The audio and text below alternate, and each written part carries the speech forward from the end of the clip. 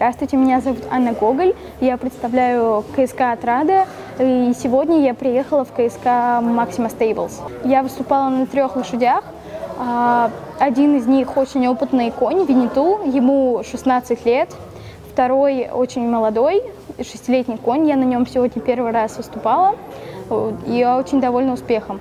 И третий конь – это Ильнина, и я очень рада за него и довольна им.